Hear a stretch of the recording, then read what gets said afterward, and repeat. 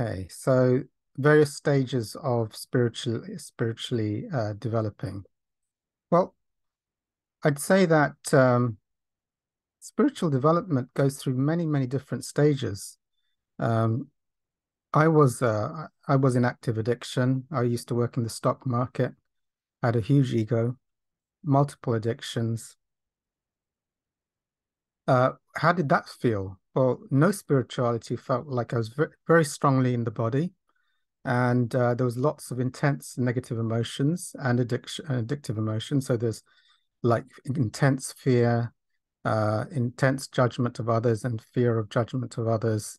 Uh, in, in, uh, addiction, which is you know um, very similar to obsessive compulsive. Like when I, I, just need to make sure I have enough uh, jam donuts and supply uh, and and that as my drug, or I need to be close to my drugs or have a huge supply of drugs, uh, which was uh, one of them being sugar uh, and sugary foods. So um, uh, so there was extreme, you know, this extreme up and down, this extreme like uh, fear and terror, and then relief if I was acting out by eating chocolates or working hard or getting an adrenaline fix with power, money, prestige, and other addictions. So that kind of roller coaster of feeling really negative because the ego blocks off God's luminescence. And but then when the ego acts out on addiction, it gets temporary relief. So it then goes into bondage. It needs more donuts, or it needs more validation, or it needs more money, whatever the drug is that it's trying to get a, a short-term relief from. So um, that's the first stage. Then usually one gets into extreme pain that having no spirituality is not really working. So usually at that point, um, uh, it could be the dark night of the soul at that point or later on.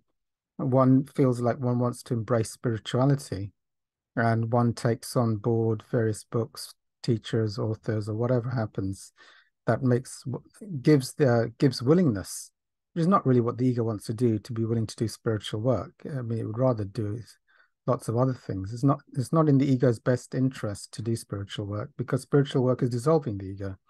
It's going the opposite direction. You know the ego often doesn't really rec recognize that properly in the beginning.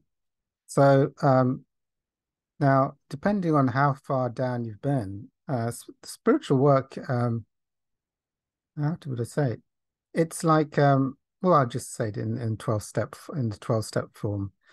Mm.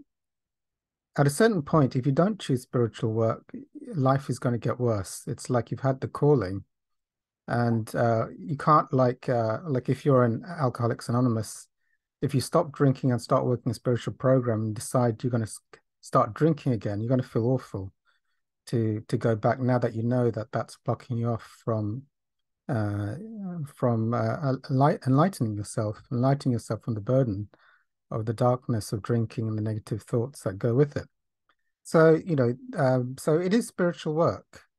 Um, now, quite often, um, you'll hear from spiritual seekers. I mean, I help people uh, with various addiction, addictive problems, working spiritual work. They usually complain that things are not happening fast enough, and that it's not working fast enough like uh, you know i'm in addiction and then three weeks later you're telling them to pray to go to 12 step groups. And they do that and they go well i've been doing it for three weeks. Why am i not happy joyous and free yet? You know uh, surely surely it should be within a week and then everything should be gone and i should be in bliss forever and it should be really easy. And then i so i sort of tell them like um, uh, how long have you been doing the program? And I share my experience, which isn't always there. Like sometimes to get over addictions is a couple of years. Now, as you get to more advanced levels um, of spiritual work, um, the problem becomes slightly different. Is that there's not many people and not many groups that are at advanced levels. So you, um, the problem with that, which can be overcome, is that um, if you haven't got the groups, you need to be immersing yourself in the things that will dissolve it. So if one is feeling like one is trying to let go of the addiction uh, to thoughts, uh, there's not so much support uh, as with other things at lower levels of spirituality. So, like if you wanted to go to a forgiveness workshop, there's probably you know a thousand in London. Uh, but if you wanted to go um, and uh, to a group on an enlightenment or meet someone like Buddha, uh, you you know it's going to be very very hard, and there's any groups or people in the world are going to be few and far between.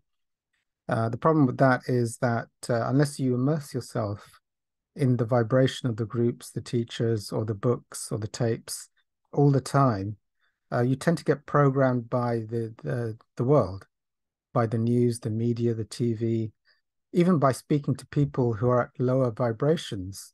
You tend to believe that you know if they say I'm a body and I've got a pain in my foot, and you're trying to have a conversation with them, you, eventually believe that you're a body and you probably have pains in your foot rather than uh, the whole week you're meeting people telling you you're not the body, you're not your thoughts, and it's all not real, and you are that which is infinite and forever. So you're not in that world. So the world tends to pull you into these illusions, you don't have. Um, but there are ways around it, as I shared. Uh, go to the groups, connect to people who are at that vibration, uh, and otherwise, you know, I recommend uh, Dr. David R. Hawkins, uh, or um, you know we can find out um, you can read Ramana Maharishi or other teachers, Ramana Maharishi um, or or Hawkins. Yeah, I recommend that those two. So you know the thing of like wanting to give up uh, because you've been trying to get a leap in your spiritual awareness and you feel dragged down. Well, sometimes there are obstacles which take a lot of work and actually the ego hides the core, you have what's called blind spots. So you're like making progress and you're making progress. And then um, suddenly it seems like you're working very hard and you can't make any progress and it may be going on for a long time. Um, that sometimes is usually due to a couple of things. It could be there's a blind spot. Uh, for example, a blind spot could be like if you're trying to let go of the addiction to thoughts, mm, it can be that um, something refuses you know the the think the thinker wants to let go of thoughts while thinking about it. You, you, i mean you just it's just not possible. It has to be a leap in consciousness. You can't let go of thinking by thinking about it you see? And so and if you try harder to think about it and learn about it and understand it that still won't work. So uh, one can get frustrated or feel like giving up. Um, however, you know, um, I would suggest um, the thing I would say is mm, uh, it's good not to give up because sometimes you're closer than you think. And sometimes in just pers persevering, the answer will come. And when you stop persevering, the answer won't come so easily. So it's a bit like um, I would say it's a bit like banging on on God's door. If it's like like I go to a group where everyone's blissed out and not in their thoughts, and uh, I'm still in my head. I'm trying really hard to get out of my head. Well, I think it's good to go to the speak to those people and go to those groups and just share that you're not getting it because they probably ha- you know they might somebody in the group or somebody might say something that will help you make the shift. You know, uh, you can't. Um, uh, whereas if you, you you stay around people who haven't made the shift, because and you sort of give up it's you know the answer still may come but it's less likely you know um, that you're going to meet buddha in a pub or in a buffet restaurant you know it's more likely you'll meet eh, meet buddha in a in a spiritual group and get the insights you need so the thing with that is like just like in the uh, aa alcoholics anonymous um, if you're if you hang around people who've stopped drinking alcohol and just be around them uh, uh, uh, long enough, usually you'll get it at some point. Whereas if you just carry on with your friends that are, that are drinking every day, there's less of a chance to get it because the energy, the vibration of those places has the answer. And sometimes the answer is not even verbal. You know, you just need to be in the energy of those groups, and then the answer, and then the insight arises be at a higher level than thought. Sometimes there's perseverance. Also, not to compare yourself with others.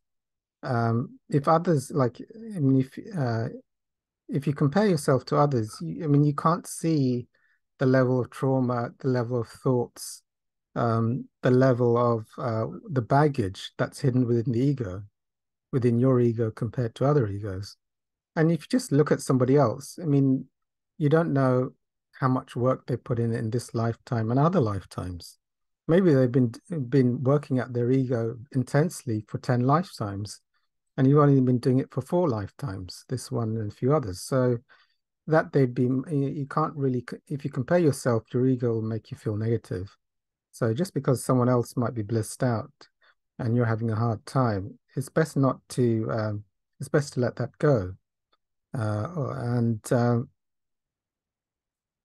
the dark night of the, yeah, the other thing I would say is what I've learnt a lot is um, spiritual growth actually usually some of the yeah i would say this the most intense spiritual growth is when one is willing to in my experience is when i was willing to face the most intense uh, pain and not back down you know and that i think is the dark night of the soul the test of the dark night of the soul. It's like there's terror there's fear there's fear of death there's horrific pain and it's like let's do something to escape this using ego methods.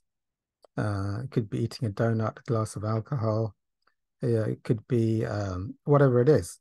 So, um, and if you use the ego's mechanisms to get rid of the pain, then uh, the ego wins. Basically, you don't you don't pass the test, which is fine. You can you get, get to, you get another chance at some point in the future to try again.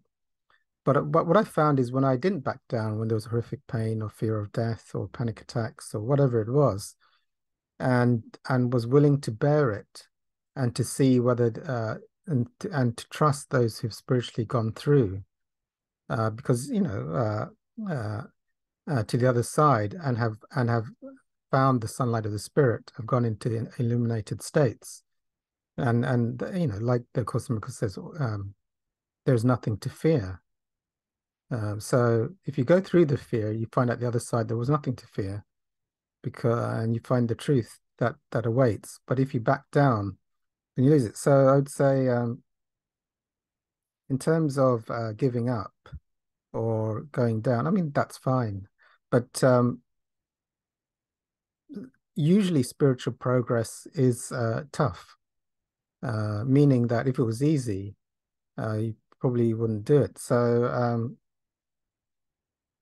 uh, but you know, it's it's okay. It's okay. I mean, if one is, um, I've always taken, you know, the, the one thing that really helped me was Dr. Hawkins' map of consciousness, and like, okay, uh, if everything that Buddha said was at the highest level of enlightenment, uh, and and Mother Teresa was pretty high up there as well, and Gandhi, um, uh, Ramana Maharishi, all pretty high teachers.